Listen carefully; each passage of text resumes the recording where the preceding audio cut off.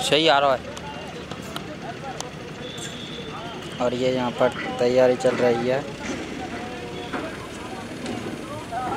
योगी जी की आने की खबर है।